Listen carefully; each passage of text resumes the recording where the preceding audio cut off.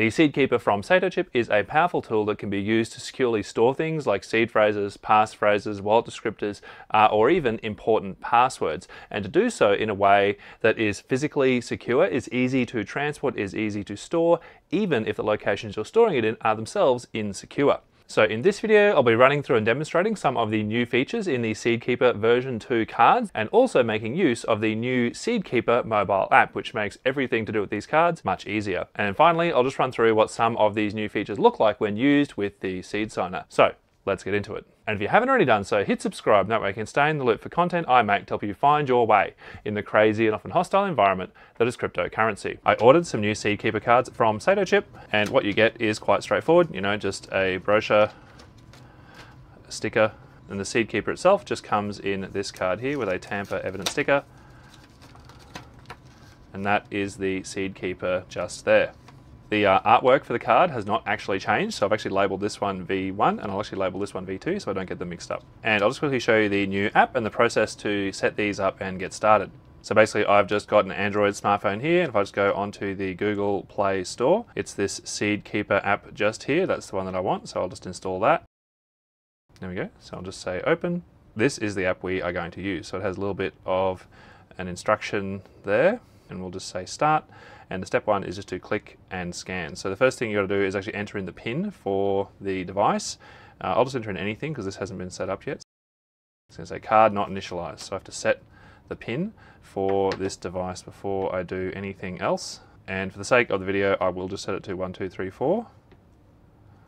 And I'll type it in a second time, 1234, and say done, and then say confirm. And then basically now I can just scan my new SeedKeeper card to the phone card set up successful.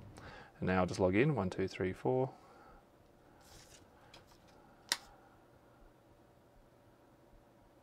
There we go, card scanned successfully. And basically now we can see this card here has no secrets on it.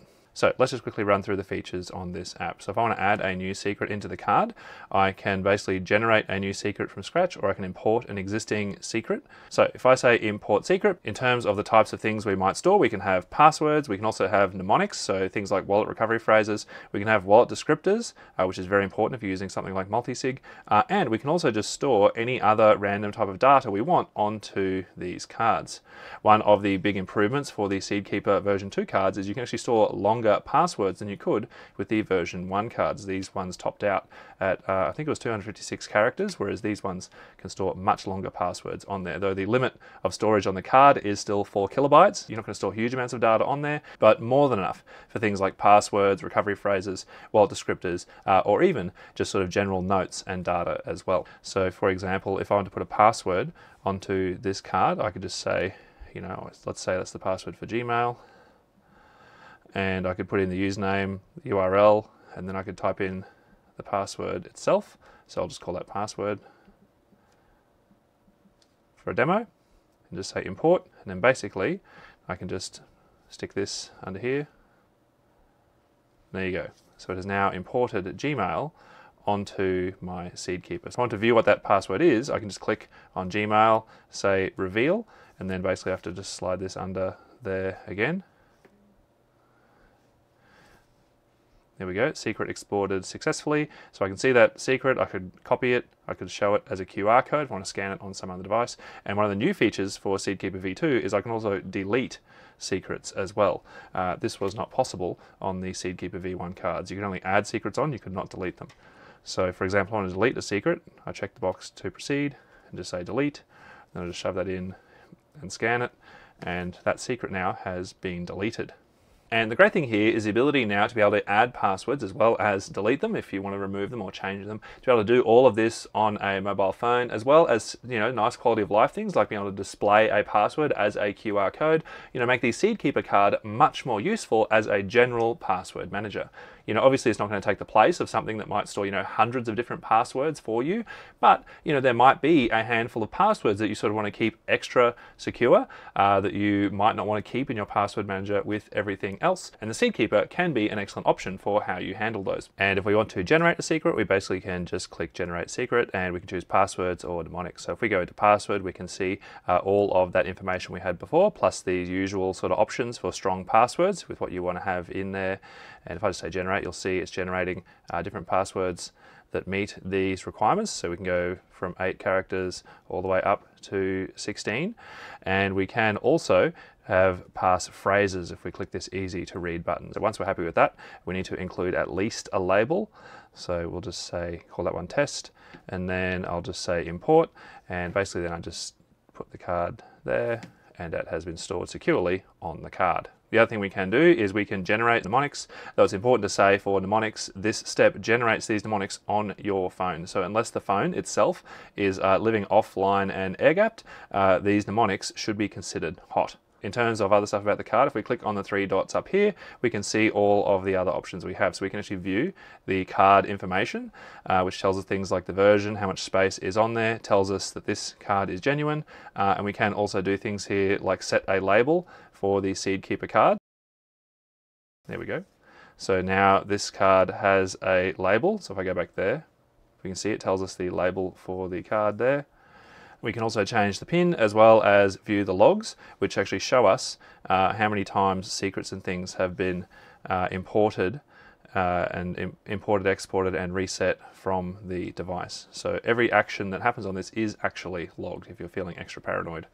We can also adjust the card settings, so turn you know some of those uh, tutorials back on again. And this is also where we factory reset this card if we have forgotten the pin. The other very useful thing in this menu is this make a backup feature. So basically what this allows us to do is clone all of the secrets from one card onto another. And this backup feature is actually what makes Seedkeeper very useful for things like inheritance as well as distributed storage. Because the key thing to understand here is that each of the Seedkeeper copies that you make has its own unique pin. So you could have, you know, three or four of these different Seedkeeper cards that you distribute to different people, store in different places, and they could each actually have a unique pin that is unique to that card, allowing you to store your Seedkeeper card in places or with people who will be unable to access it until they also get the pin that you have set for that card. So I'll just demo this process on how to securely copy everything from this version 1 card I've used in previous videos onto this new version 2 card that I just got. So first things first, I'll go back out to the main menu and I'll just enter the pin for this card over here, which is actually AAAA. It's different to this one, and I'll just tap that.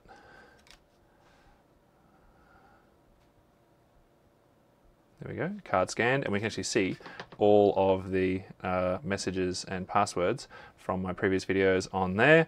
So now what I'll do is I'll just say make a backup. So we'll say start. So we'll start with a backup card. The pin for this one is actually 1234 done next. I'll just, yep, card scanned. Now we scan the master card that we just had before. Oop, hang on.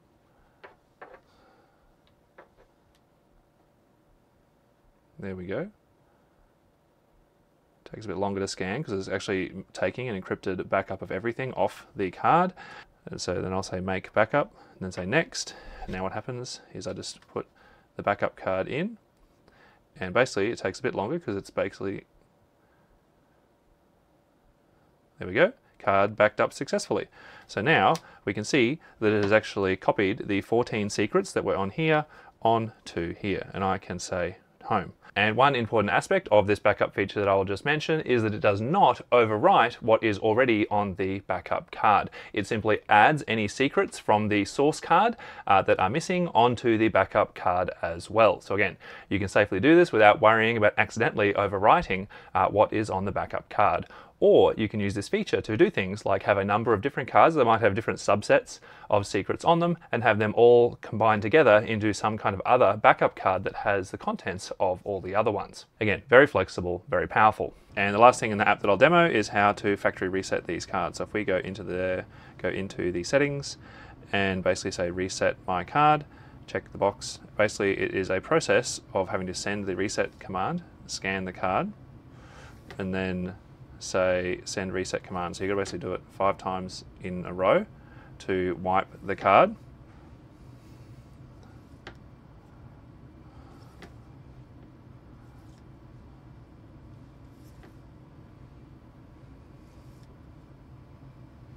And there we go. So that card now is wiped and back to the beginning. This is also a good spot to say this app works just the same with DIY cards, with the only difference being if you go into card information, you will see that the DIY cards do not get shown as genuine, which is exactly what we would expect.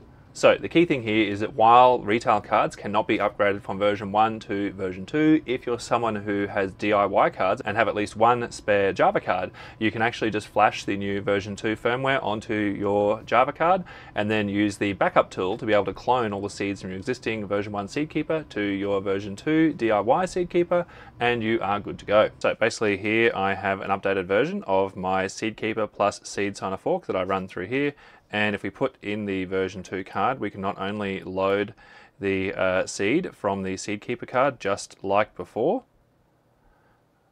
So I'll just set the pin to be one, two, three, four.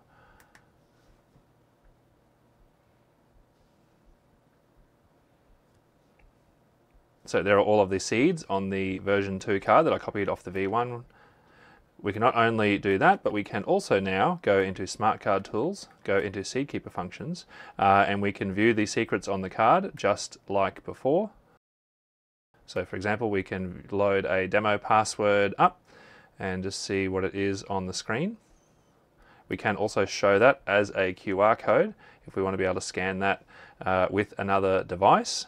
We can not only save passwords to the card just like before, but we can also now delete secrets from the card if we don't want them, making this much more useful as a more general password manager. This fork has also been updated if you go into DIY tools to be able to install a bunch of applets including the updated V2 applet onto DIY cards. I've also added some other useful applets like SmartPGP, the uh, Spectre DIY applet, and the VivoKey OTP applet that allows you to use uh, these cards with Yubico Authenticator for TOTP codes.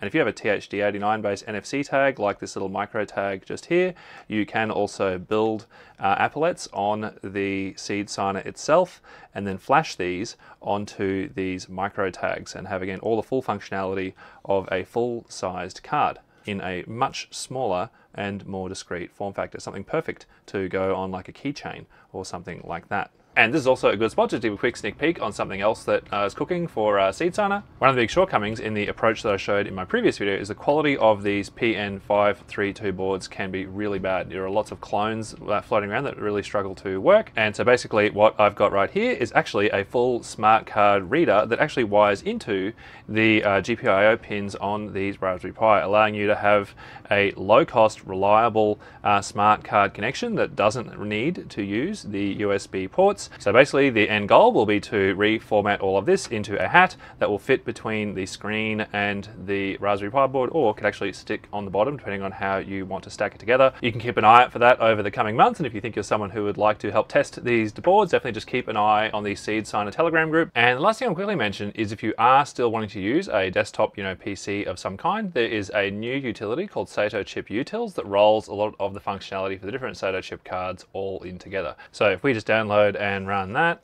and then stick our version 2 card into our reader we can basically do all of the same things we could do in the mobile app here on our desktop as well. And the last setting you'll notice actually is there is the ability to disable NFC on these cards. I'm pretty sure this is only available right now through a command line interface. Summary time. So the key thing to say is that since my previous video on the Seedkeeper devices, the user experience has dramatically improved. When I originally looked at these cards, basically if you wanted to use them, you had to use a fairly old style Python app, which was quite clunky, and the user experience using the new mobile app is much better the additional features that are available in terms of being able to delete passwords that are on there and being able to better store larger passwords to be able to more cleanly store things like wallet descriptors uh, is a really welcome feature. And again, I really do think that these Seedkeeper cards just pair brilliantly with something like SeedSigner. And just as I demonstrated through this video, the other really great thing about Seedkeeper is the way that Satochip continue to be committed to open source. If you want to give the DIY thing a go, you could either buy the Java cards from the Satochip store